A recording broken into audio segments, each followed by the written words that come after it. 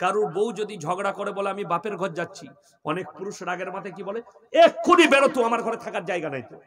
বেরিয়ে পালিয়ে গেল, ব্যাগ গুটি দিয়ে একদিন গেছে, দুদিন তিন দিন চার দিন পাঁচ দিন আর রাতের বেলায় ঘুম ধরছে না। তখন খালি বউকে মিসকাল মারছে, পিচিক পিচিক করে। মিসকাল মারছো কেন? রাগ করছ কেন গো? মাল একদম ঠান্ডা। তুই যে গরম দেখাচ্ছিলি, বেরিয়ে যা। আর ঘুম ধরবে না তিন দিন পরে। চার দিন পরে সকলে জোরে বলুন সুহান আল্লাহ যাদের বিবি থাকতে বিবি মারা গেছে, তাদেরকে জিজ্ঞেস করো, বিবি আল্লাহর কত বড় নিয়ামত স্ত্রী? রাতের বেলায় পাঁচটা বেটা পাঁচটা কামড়াই ঢুকে পড়বে বউ নিয়ে। তুমি বুড়ো এক কোণে পড়ে থাকবে। যদি পিসাব লাগে, কারেন্ট চলে যায়, অন্ধকার হয়ে যায়, ঘরের কোণে মুক্ত হবে, না হলে বিছানায়। আর বিবি থাকলে বলবে, দাঁড়াও আমি স্লিপ চিটা নিয়ে আসছি, বালতিটা আনছি। বালতিতে পিসাব করো, বিবি ফেলে দিয়ে আসবে। এটা হচ্ছে স্ত্রী অর্থাঙ্গিনী। পা ভেঙে গেলে, যদি আমাদের পা ভেঙে যায়, ঘরে পড়ে আছে, মোটরসাইকেল অ্যাক্সিডেন্ট হয়ে, দিয়ে বলছে, ও, পাটা টানতে পারছি না গো, খুব পিসাব লেগেছে, একবার বালতিটা নিয়ে এসে তো। যে পালঙে বসে বসে হারাম করে মুচ্ছে আর বইয়ের যদি পা ভেঙে যায়, বউ যদি বলে, চলতে পারব না, এখানে মুতি দি, তুমি ফেলে দিয়ে এসো। চলতে পারবে নাকি টেনে নিয়ে গিয়ে পায়খানা করে বসিয়ে দিবে।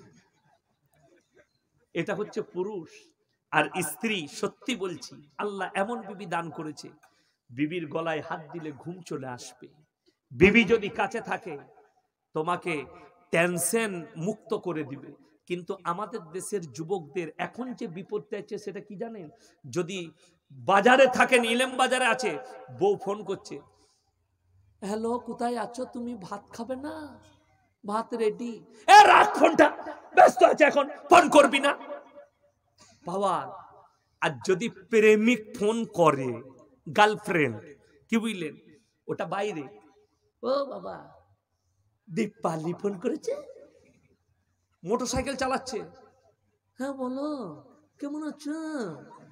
হ্যাঁ। কবে আসবে বলো তুমি তোমাকে রেস্টুরেন্টে খাব বাইক চালাতে চালাতে কথা ছাড়ে না। আর বিবি এক মিনিট ফোন করলে ভালোভাবে কথা বলতে পারে না। তো তুই ঝাঁটা খাবি না তা কে খাবে? বড় কষ্ট লাগে। আমার ভাই, আল্লাহ নিয়ামত দিয়েছে জুইনা লিন্নাসি হুব্বু শাহাওয়াতি মিনান নিসা। সবথেকে দামি নিয়ামত বিবি, ওয়াল ফিদ্দা ওয়াল খাইলিল মুসাওয়ামা ওয়াল আনআম ওয়াল হারস। আমি তোমাদিকে তারপরে দিয়েছি তোমাদের সন্তান। যার মুখ থেকে তুমি ভুলে যাবে, টেনশন মুক্ত হবে, বিটির মুখ দেখলে সব ভুলে যাবে, বেটার মুখ দেখলে ভুলে যাবে। বেটা যখন বাচ্চা মেয়ে, তোমার বিটি যখন তোমার গালে চুমু খাবে, তুমি সব ভুলে যাবে। আল্লাহ এমন নিয়ামত দিয়েছে, আর তোমাদিকে দিয়েছি সোনা আর রূপা। ভরে দিয়েছি, ঘোড়াকে করেছি তোমাদের সওয়ারি। আর খেতি বাড়িতে ফল, ফ্রুট, শাক, সবজিতে আমি সুসজ্জিত করে দিয়েছি পৃথিবীটাকে। তোমরা তারপরেও একটা কথা মাথায় রাখবে, আমার কাছে তোমাদিকে প্রত্যাবর্তন করতে হবে, আল্লাহর কাছেই ফিরতে হবে। সবাই এই কথা মনে রেখে আজ থেকে পাঁচ ওয়াক্তের নামাজি হব, সকলে জোরে বলুন ইনশাল্লাহ মমিন হবেন। মমিন হতে গেলে আমার আল্লাহ রাব্বুল আলামিন বড় শর্ত রেখেছেন কোরআনে। যে মমিনদের আখলাক আর চরিত্র কেমন হবে শুনেলেন? আপনাকে মমিন হতে দিবে না। বেঈমান কাপেররা আপনাকে ঘোড়া টোপে ঘিরে ফেলছে। আজকে আপনি বাজারে যান, গেলেই বলবে, শোনো, মলবিদের কথা শুনো না। কি করবে? সরকার আইন পাশ করেছে, বাচ্চা নষ্ট করো। অসুবিধা নাই। তোমার যদি প্রয়োজন না হয়। একজন দেখলাম, সনাতনী একজন বোন। একজন হিন্দুদের বোন সে দেখছি ফেসবুকে লাইভে এসে মানুষকে বলছে अरे मुसलमान दस दस बच्चा लेंगे मुसलमान का दस दस बच्चे होंगे तो सरकार कहां से रोजी रोटी देगी सरकार कहां से नौकरी देगी सरकार कहां से मकान देगा तो मैं तो सबसे पहले ये कहूंगा कि तुम्हारे भगवान में तुम्हारा विश्वास नहीं है जे আসছে শোনো और सोच लो जो लोग कहते हैं कि क्यों दस बच्चे होते हैं क्यों पांच बच्चे लेंगे अगर यही सोच हजरत आदम सलाम ने ले ली होती तो दुनिया में कोई भी नहीं आता মা হাওয়া আর আদম যদি ভাবতেন আমরা দুজন আল্লাহ পাঠিয়েছে আমরা আর সন্তান নেব না আমরা এই দুনিয়াতে রাজ করব তো না দেশের প্রধানমন্ত্রী পেতিস না কেউ কি পেতিস বড় কষ্ট লাগে। টার্গেট কাকে? মুসলমান দিকে। অথচ আমি বলেছি, রবীন্দ্রনাথ ঠাকুর বাপের ক নম্বর সন্তান? আপনাদের দেশের মানুষ। ক নম্বর গো? কথা বলে না? চোদ্দ নম্বর সন্তান। ভাই বোনদের মধ্যে চোদ্দ, ভাইদের মধ্যে ন নম্বর। তো তাকে কি বলবেন? তিনি আমাদের বিশ্বকবি, কবিগুরু রবীন্দ্রনাথ ঠাকুর।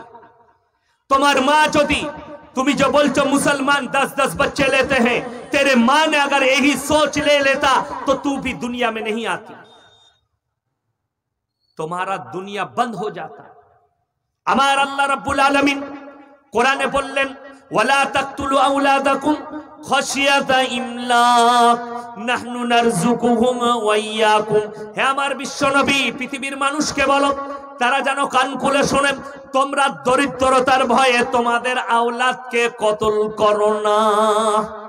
কি করে মানুষ করব, কি করে খাওয়াবো এই ভেবে তোমরা নিজেদের সন্তানকে কতল করো আমাদের দেশের লোকের বরকত কেন হয় না জানেন? আল্লাহর প্রতি বিশ্বাস নেই। রুজির মালিক সকলে বলুন কে? আরও জোরে বলুন কে?